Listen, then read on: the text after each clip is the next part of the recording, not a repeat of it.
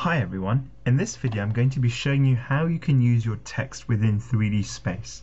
As you saw in previous videos, you can move your text up and down and left to right, but what if you want to move it in 3D space? What if you want to move it backwards, forwards, tilt it, turn it, rotate it in different dimensions? That's what we're going to look at now. So here we are in After Effects. I've just created a new composition. Have a I have a white background and I've got a 30 second project. And if I'm going to use text in 3D space, I'm going to need some text. So I'm going to go to the toolbar at the top, click on the text tool, click once on the stage, and I'm going to write 3D space. You can highlight your text, you can choose a font, I'm happy with that. You can choose the size, make it bigger or smaller, and you can choose the color. Someone give me a color. Ha, can't hear you. I'm going to go for red. And then click OK. When you're happy with your text, simply go back to the arrow tool. So here I have my text and you can see within my timeline panel a layer has been created for my text. I'm going to activate the transformation options within the layer. So I'm going to click on this little arrow. I'm going to click on the arrow next to transform and here are the transformation options that you've seen in a previous video. And like I said, you can see that I can do a number of things to this text. I can move it up and down and left and right. I can rotate it around. I can make it bigger and smaller. But I want to do the cool 3D things to it, like tilt, turn, rotate it, make it go backwards and forwards. To do that, I need to go to these three unchecked boxes here, and it's the last one that I'm interested in. And if I put my cursor just above to explain what that means, it will make my layer 3D. So it will let me manipulate that layer within 3D space, within three dimensions. And if I click on that, you can see my text has more options available. I know my screen has changed, that's my fault, I didn't change the view Okay, so if I just untick that and click it, can you notice the main difference within your timeline panel? More options are available. You have an extra dimension that you can play with. Again, if I untick it, you can see there's only two fields there, rotation, position, scale. They only have two options. If I click on that 3D layer, it gives me the 3D options. It gives me the third options and you can see that within your uh, within your stage you have three arrows that aid you with how to work with your text in 3D space. Now you can see with the anchor point I can move it backwards and forwards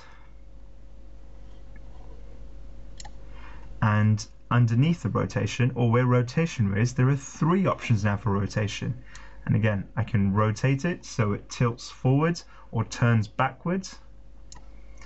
The Y rotation again will turn my text. You'll notice that my text is turning from a specific point.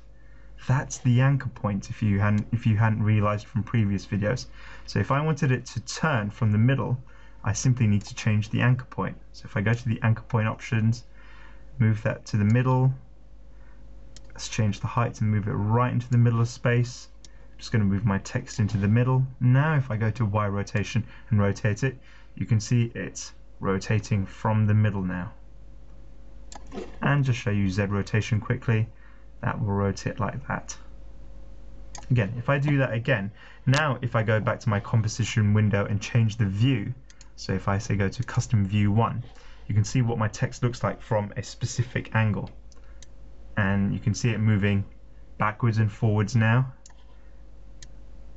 You can see it turning and rotating from an x-axis. I turn it from a y, here we go, and rotate it. Now to animate this text, you can do that simply by using and creating and activating keyframes. So if I click on all the keyframes, move my timeline slider to 6 seconds, I might want my text to rotate a few times. And I might want the scale to get bigger. And maybe the position it goes off screen. So let me just do that there we go okay so if I move my timeline slider you can see my text is there and now it's getting bigger and rotating in 3D space and moving towards me in 3D space. Pretty cool. Now there is another cool feature here that doesn't really relate to text. Now you can see it moving and it's moving quite sturdy. I can apply a motion blur to it. Motion blur is that when something is moving, it has a blur to it and it gives it a really nice cool effect. Now if I go back to those three unchecked boxes, the first one is a motion blur that will add a nice blur to your objects when moving. That's and that's done by simply clicking on that button. But I need to activate it within the whole software. Now within the timeline panel options, there is a button that enables it. If I simply click on it, don't need to do anything else. It will automatically apply that effect to your text.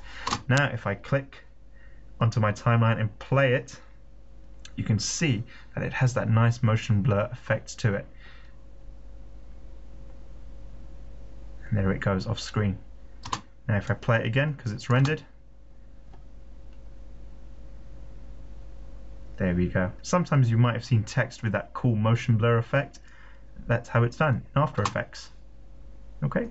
And that's how you use your text within 3D space. If you want to go even more, there is a way where you can see your text uh, in different views. So if I go four views, now here we go, I can see my text from what it lo looks like on the right side, on the front side, at the top, and a custom view. If I play that, you can see how the text is moving.